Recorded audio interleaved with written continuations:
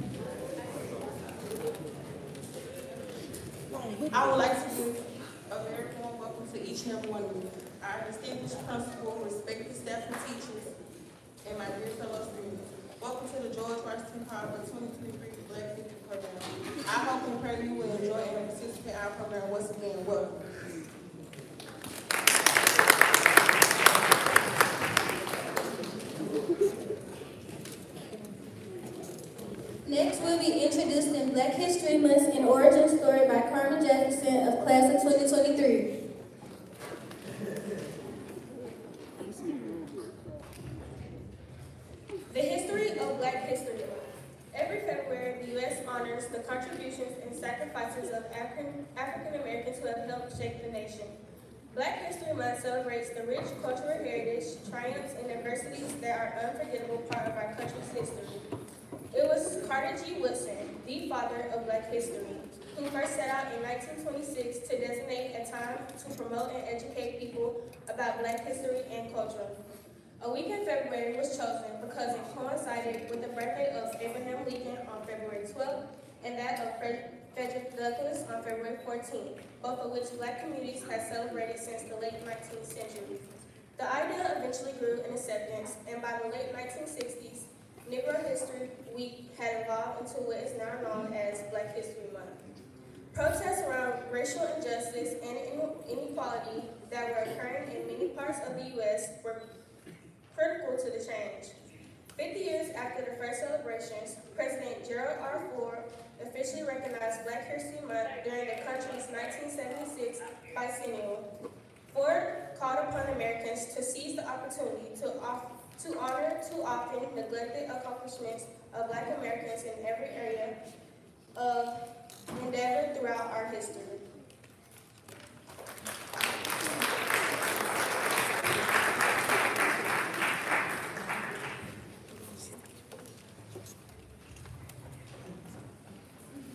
We will now have a city called Heaven presented by Carver and Hudson Choir featuring Cecilia Phillips.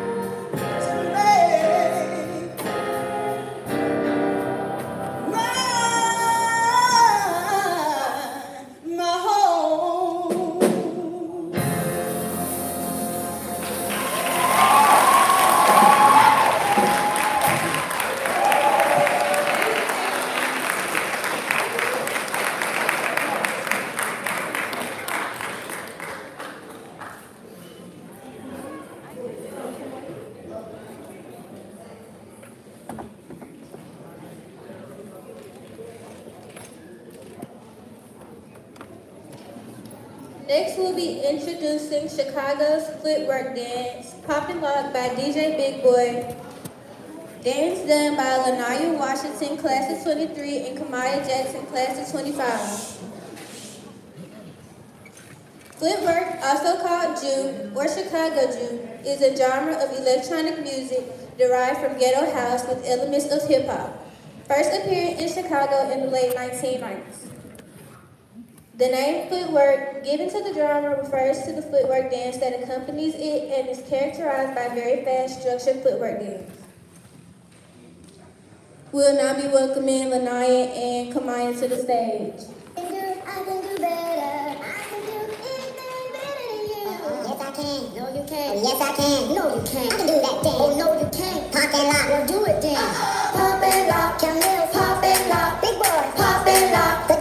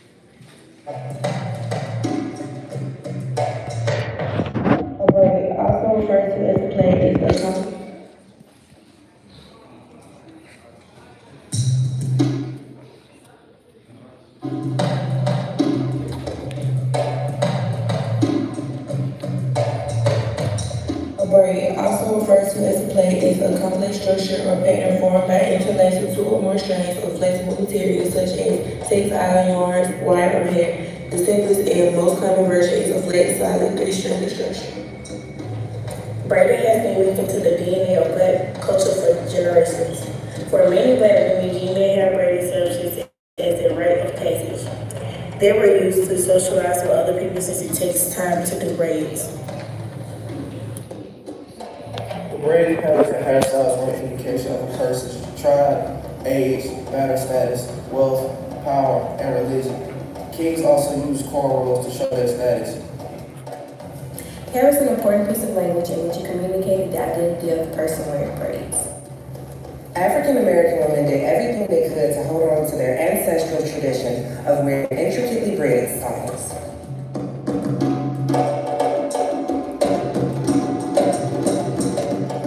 In the time of slavery in Colombia, hair braiding was used to relay message. For example, to signal that they wanted to escape, women would use their braided hairstyle called departes. In the braids, they also kept gold and seeds, which in the long run helped them survive after they escaped. Here in America, slaves used as a map to freedom. For example, the number of plaits worn could indicate how many roads to walk or to meet someone to help them escape bondage.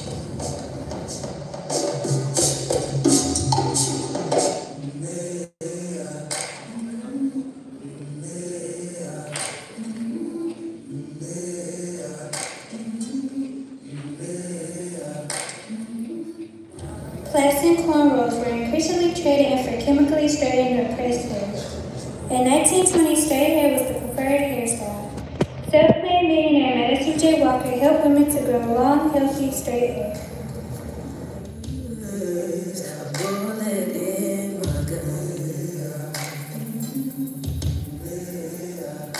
Oh, I got eyes in the back of my head.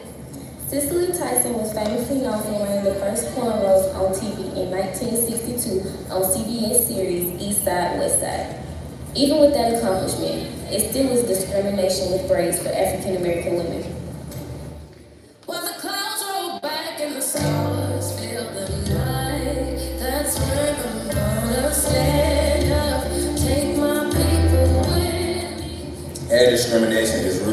Systemic racism. Black people are often left to risk facing consequences at school or work for the natural hair, or invest time and money to perform Eurocentric professional and beauty standards.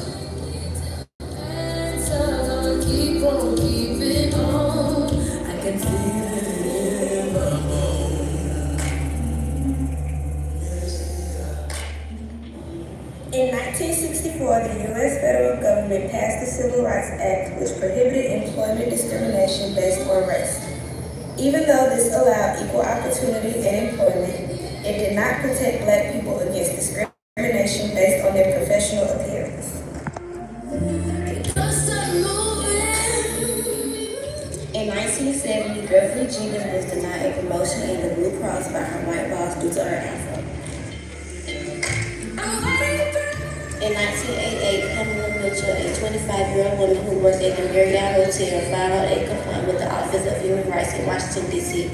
The hotel threatened to fire her if she didn't take her braids down. She won the case and the officials were forced to review her hairstyle and allow braids. And I fight with the strength that I got until I die. TV reporter Treasure Roberts defies the odds when she decides to wear her braids on air. Quoting, braids are professional. As of January 2021, female soldiers are allowed to sport ponytails and braids. And so I'm gonna keep on keeping on.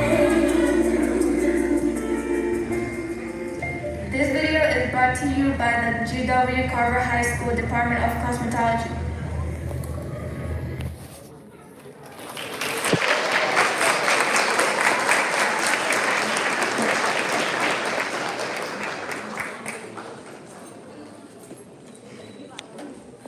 We will now have the bigger picture, a tribute to the victims of gun violence. The bigger picture is a protest song by American rapper Lil Baby. It was released on June 12, 2020, in the wake of the murder of George Floyd. In the song, Lil Baby shows solitary with the 2020 Black Lives Matter protest calling justice against police brutality in the United States and system racism. Critics say Lil Baby seamlessly articulates the frustration, confusion, and any call to stand up for something much bigger than himself. Carver students may now come to the stage.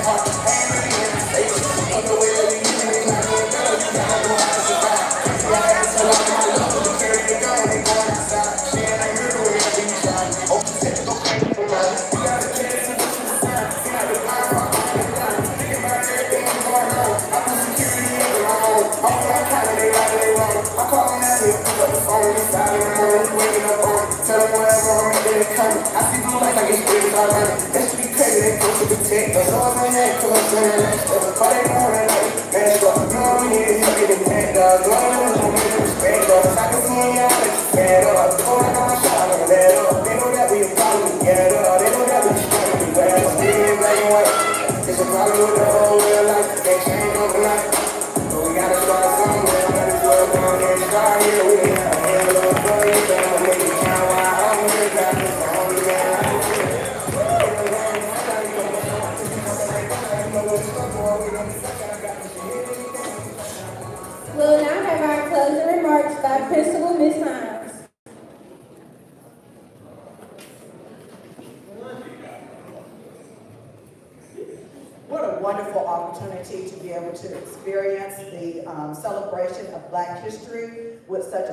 Group of students in our Fine Arts Department, um, JROTC, uh, Cosmetology, and other departments. Let's give them a big round of applause.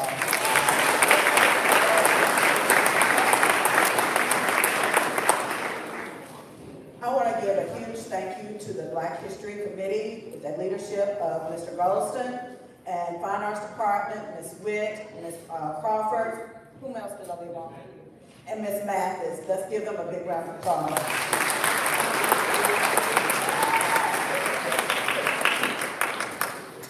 One thing we need to remember, we do have February uh, that we celebrate Black History, but I do want you to understand, we're Black. 365 days out of the year. Please take that thought with you as you interact about people who came before us. The thing for this year is resistance.